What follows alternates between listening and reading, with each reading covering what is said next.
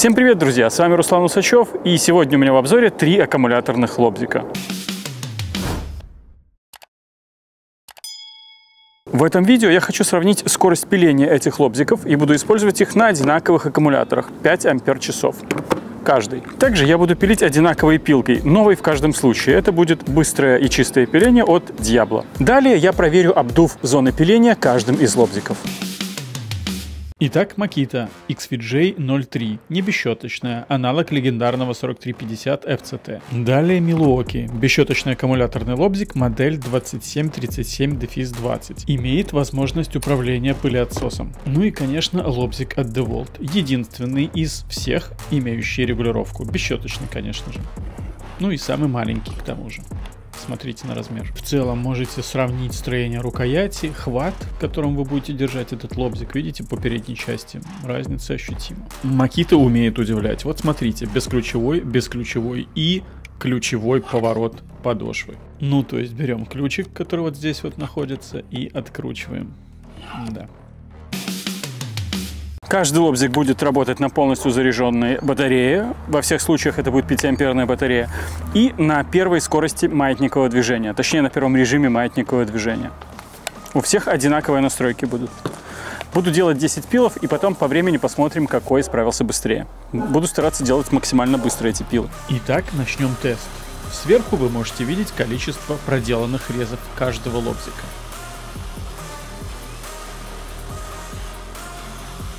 Если честно, я не ожидал ощутимой разницы. Однако, как вы видите и увидите в дальнейшем, я сильно ошибался. Конечно, судить о лобзике только на основании скорости его пиления не стоит. Однако это видео прежде всего об этом, и я должен зафиксировать результат. А результат вполне очевиден. Макита самая медленная. Затем идет DeWalt и Milwaukee опережает DeWalt по скорости пиления с значимым, на мой взгляд, отрывом.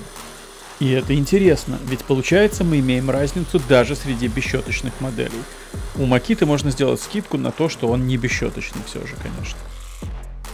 Я бы хотел заметить, пусть Макита пилит и медленнее, но ощущение контроля выше. Сама работа инструмента как будто бы тише и более предсказуемая, что ли.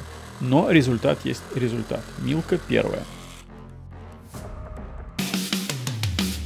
Друзья, сейчас мы посмотрим, насколько э, хорошо происходит сдув каждым из лобзиков места пиления. Насколько мы будем чисто видеть э, наш пил. Выключаем маятниковое движение и поехали.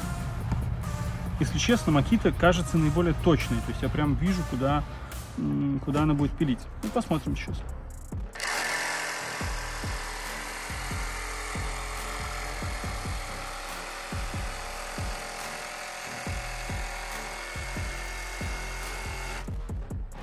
Обдув отличный. Вообще нет опилок вот вместе пиления. Здесь наиболее широкое вот это поле, и немножко это, конечно, необычно. Зачем так сделано, я не знаю. Ну, пилим, целимся по вот этой вот рамочке и по пилке самой. Выключаем тоже маятниковый. И поехали.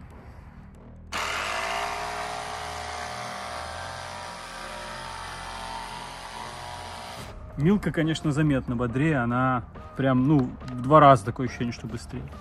Вместе пиления нет никаких опилок. Давайте попробуем без вот этого включенного режима.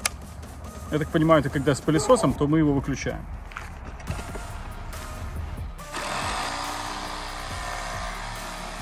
Вообще никакой разницы. Так же хорошо. Да, подсветочка выглядит простой.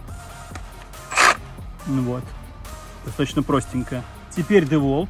Тоже как у Макиты интуитивно видно, куда мы будем пилить. Поехали.